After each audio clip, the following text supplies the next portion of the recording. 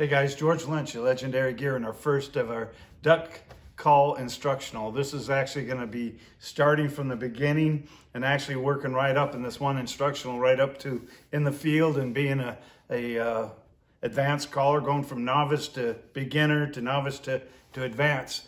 This is going to be my way of teaching, my way of doing things. You know, there's more than one way, I guess, everybody does things. This is going to be the way I do it. There's going to be little exercises, the thoughts behind it. And, you know, I've been asked uh, which call is the easiest for a beginner to get out in the field. And whether you're beginner or advanced, I really like the nosedive double reed. This call's been chosen one of the top duck calls in Wildfowl Magazine for 2022.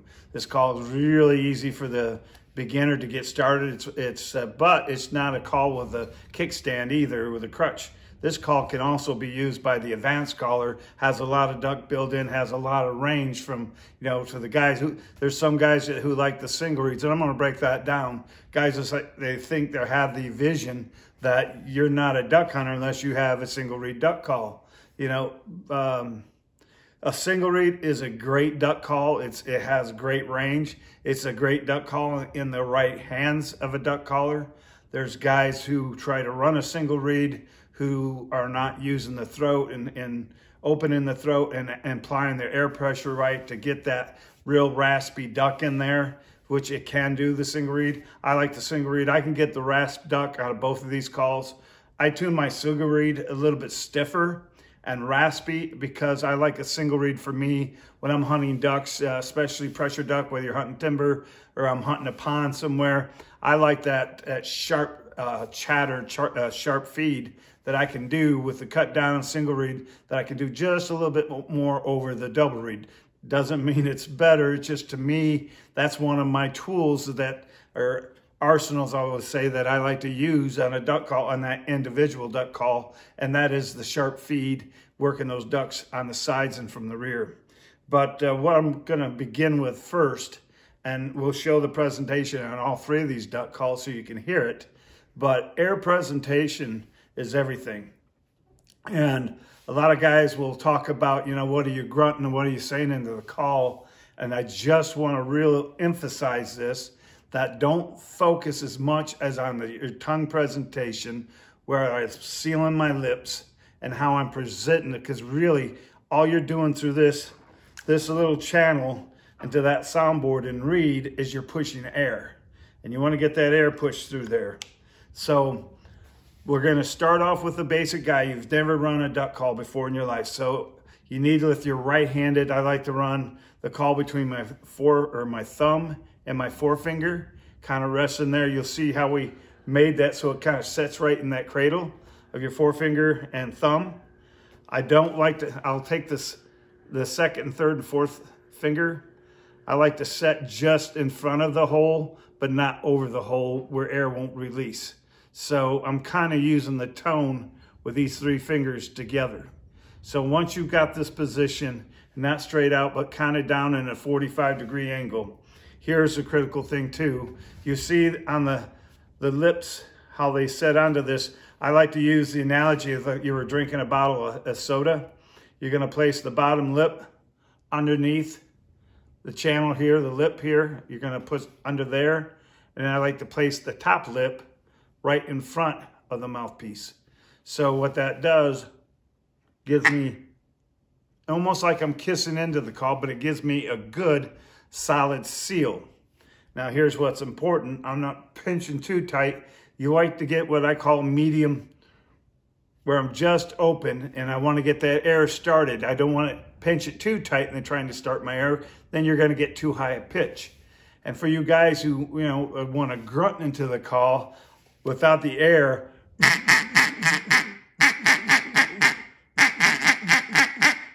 and y'all know that kind of guy sitting in the, in the blind. We all call that the laughing jackass. He's doing the laughing jackass sound. That's that. That is all grunting, no air. So my little exercise, the tip of my tongue is just behind the top of my bottom teeth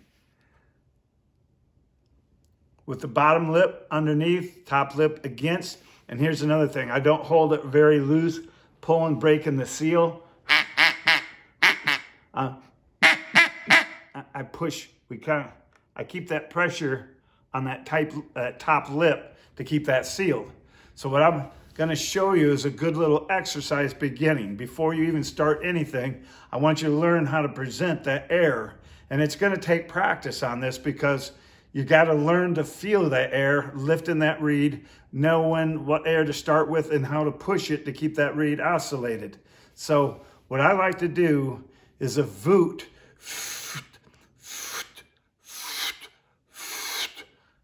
and I'll start trying to keep that reed up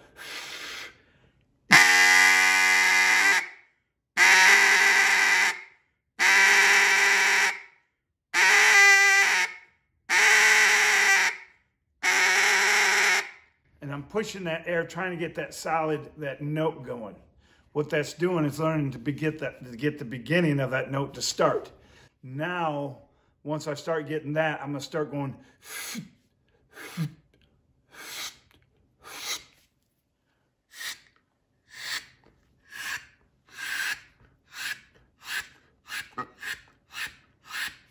Start getting that air. You're kind of using the V-O-O-T sound if you had anything coming projecting up through my lips. Now, this is real critical to remember too. I'm using my lips for leverage. So as I'm, as I remember I told you, I start open, as I'm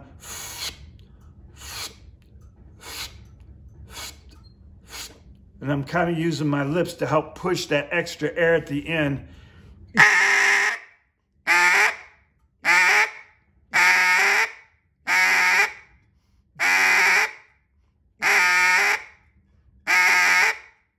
Now, once you got that, and you start stringing that out, and you start getting that, learning to uh, shut that note right off, you don't want to drag it.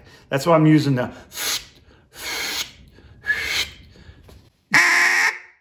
boom, the air, it stops right then. So a lot of guys, when they'll start and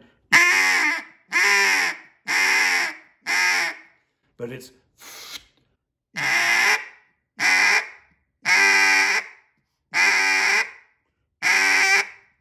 once I get that and, exercise, now some guys will say, you want to say 10, 10.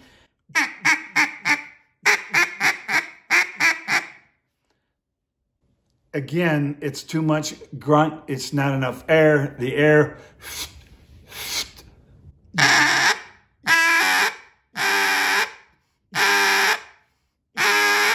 And I'm starting that air right here at the push point. Kind of the same thing as, as goose calling, the push point. Now, I'm going to show you what that's going to sound like. I'm going to lengthen it and then start shortening it once you start practicing that. Remember, perfect practice makes perfect.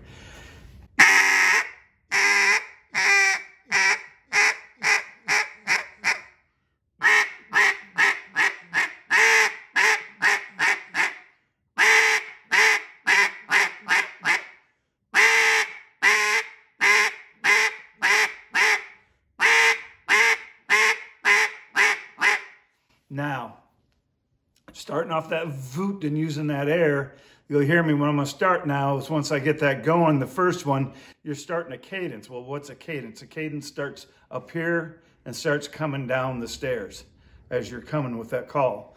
Usually on a hen mallard, you know, you want to give good four, three, you can give three to four cadence. Sometimes a little hen, when she's barky sitting on that water, she might give five, six, seven,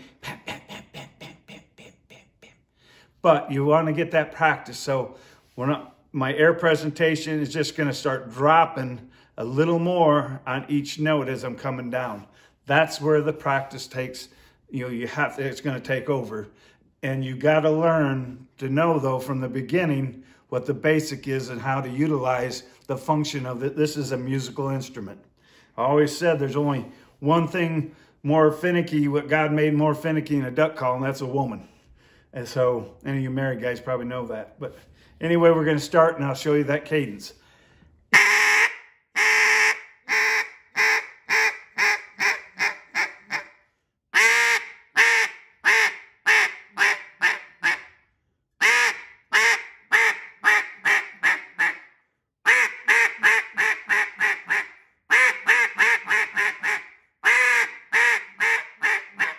Now you heard that, and the cool thing about once you get being able to master that little sound is I can start using my air in that presentation and drag that first note, then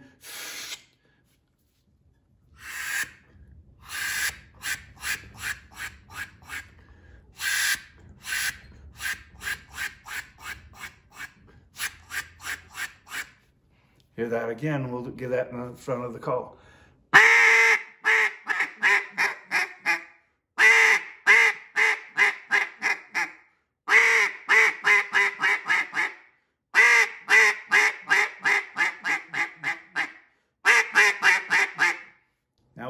Practice, again, with the practice making perfect, you're gonna start hearing that. And I recommend everybody has a cell phone, everybody record yourself, listen to your cadence, listen to somebody, listen to this video um, that we're doing, but also record yourself and you're actually gonna be the best, your own critical, most critical judge and uh, running that call. So air presentation using the VOOT, V-O-O-T, now I got that down. Now some guys will talk to me and say, "Hey, I'm struggling with the uh, with the, with my cluck or my you know quack, whether they're doing their little quack." I'm kind of doing the voot again, but I'm, that's where I'll add a little more voice inflection. Again, comes with practice, and you'll hear.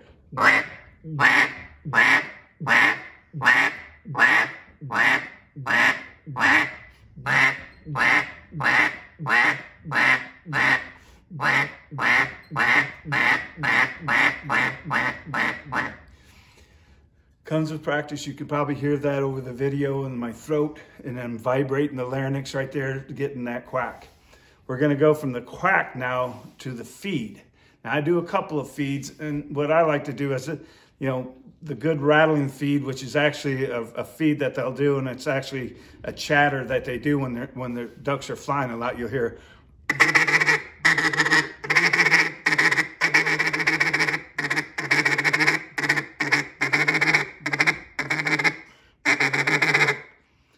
What I'm doing in that, and that again is going to take practice, takes the tongue dexterity.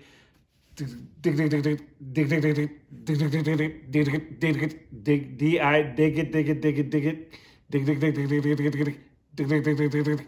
And once I start the dig it, I start getting the voice. I push the air between my lips and up to my tongue from my throat to push it into the call.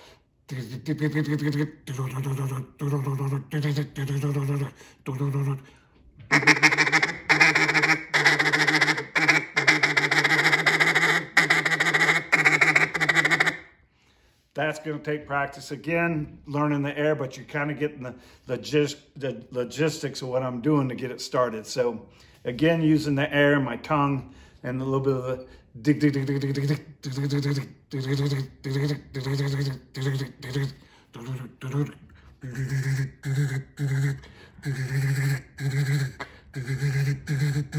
now, what I like to do a lot when if I'm working ducks and they're coming in is I do kind of a, what a true feed. Now I'm not just doing a da da da. Again, it's too rattly. I've got to have some air behind that to push it up. So we're going to add a little bit of the air.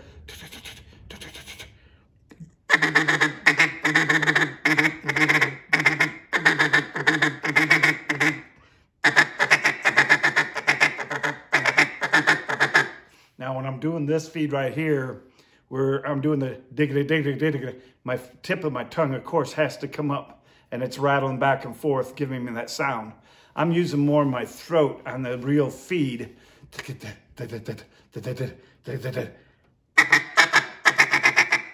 So the tip of my tongue stays behind my teeth, using my throat.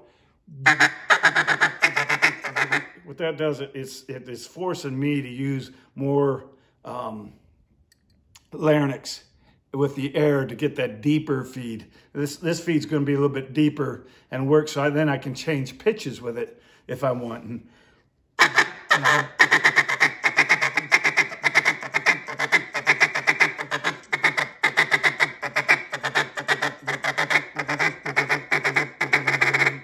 and you can see I can run that feed, then I can raise my tongue up, do the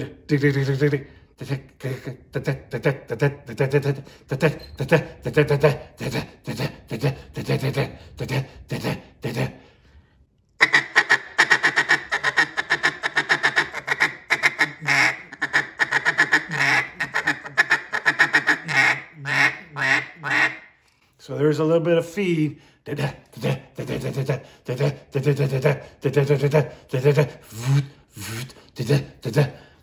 Now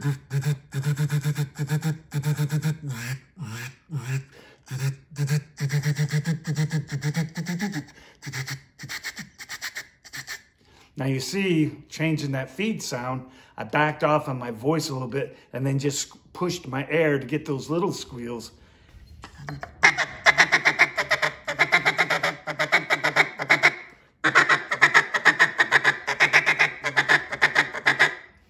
So we basically now got doing the hen, the hen uh, cadence. We've got doing the feed. We got, uh, and the fast feed, slow feed. And I think we've got all that covered. That, that's with the nosedive. All that's gonna be the same with a single reed. I have a question for you. Yeah. What about calling with the reeds down? One thing, that's a very good point. We're gonna, if you ever happen to take the reeds out of this call, the double reed is always made, we put a little bend in the front of that, which allows that air, gives that air under there, gives a little more rasp. But that bottom reed is very important that when we flex that reed, that reed one needs to bend up. If it bends down and you put it in there, you will stick, which airlock, which is not sticking the call, you will airlock that call because your air will then go over the reed and then airlock it down, pin it down. So if you ever happen to take a call apart, always make sure that the bottom reed is flexing, bowing up to get that, that power punch into that call. On the insert, you usually say run the call with the reeds down, not up, not the flex, but the actual reed. And that's why we engraved the call, the top of the call. Okay, You'll notice on the nosedive, another thing that's important, a lot of duck, in it to me, uh, some guys might think it's per personal preference. I've actually, you can change the uh, tone a little bit and actually you're also, I think it runs better spit free more, but a lot of, you'll see a lot of duck collar makers will run their calls with the, the uh, soundboard up is what we're gonna call it. What I like to do, so when you're running that call and your barrel goes on, as you're running that and your, you know, your moisture goes in there, that moisture is gonna hang into that tone channel and it doesn't take much for that little bit of moisture to stick and hold that. What we do here at Legendary Gear, and you see our engraving helps you out because it forces you to put the soundboard facing down. Now you're using gravity as you're running that duck call, your moisture, you're blowing that right out of the tone channel and down into the barrel. So that's how we like to run it, and I definitely believe it makes a difference. A little bit deeper in tone, but I definitely think it makes a difference running moisture free a little bit. So I'm gonna give a little run of this double reed if I happen to be out in the field. And um, I mean, you can, with the neat thing about the range of our calls, we can do a, a high ball.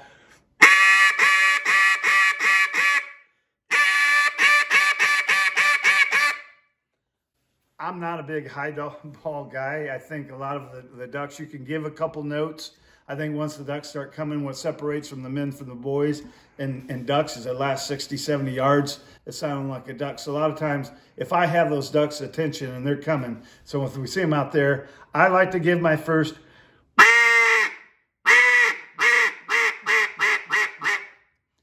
kind of a basic. You see me, uh, the first note is loud. I'm not getting real fast, but I'm just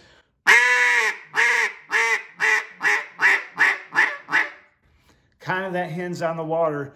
That right there is just a basic a note that I'm watching those ducks to get a response.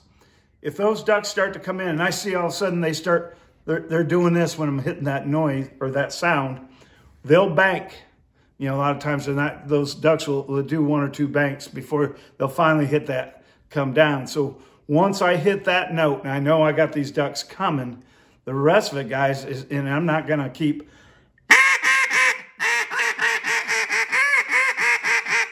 I'm not gonna keep working those ducks. Once I've hit those ducks, give them that.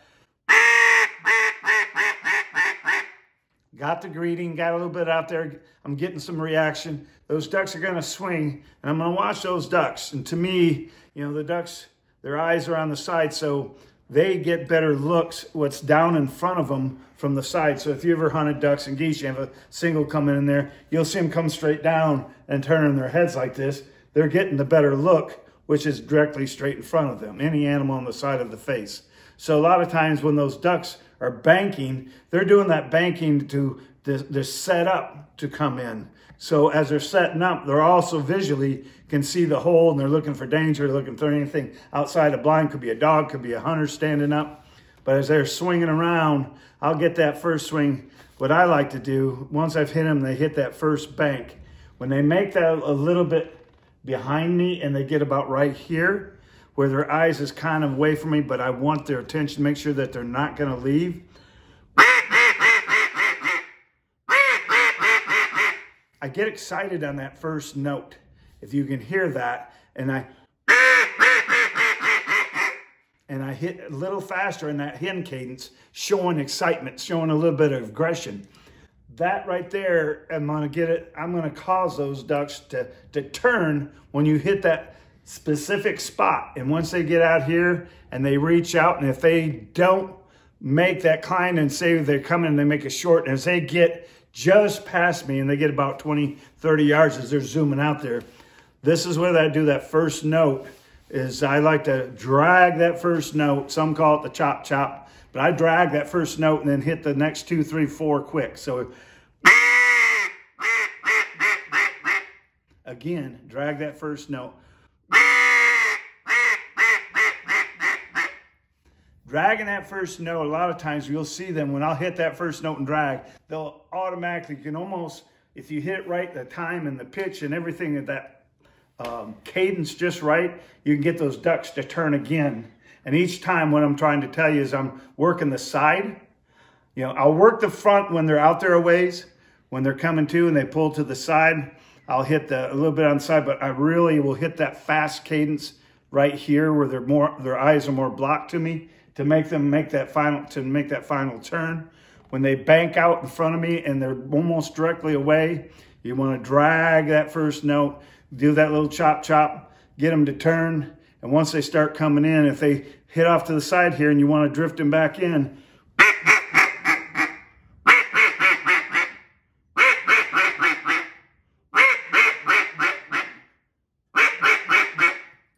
that's kind of hitting that fast, quick little clucks. And I'm telling you what, guys, usually after that, when the duck call drops, the BS stops. It's time to shoot them.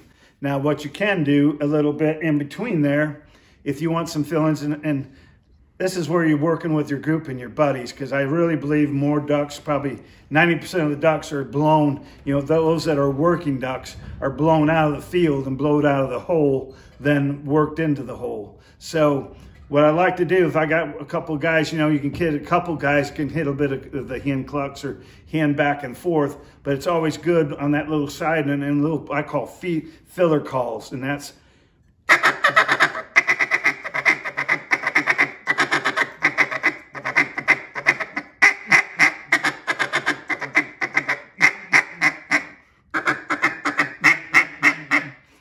have your buddy just doing that little short feed with a little bit of hen, uh, and that's that little young hen just, and that's what I call filler sound. He's not the one driving the bus. He's just helped driving, and he's one of the passengers along with it. But it gives that realistic and filling that sound, trying to get those ducks. So they actually think we have live ducks. But if you have four or five guys in a bind and all you're sitting there, it's going to sound like every, and you're blowing those ducks out of there. So kind of work in sequence, kind of be a little orchestra that is playing the music. You know, you, you definitely need one guy who's taking charge, who's the leader, and then the rest of the guys are fillers. That's just how I like to look at it.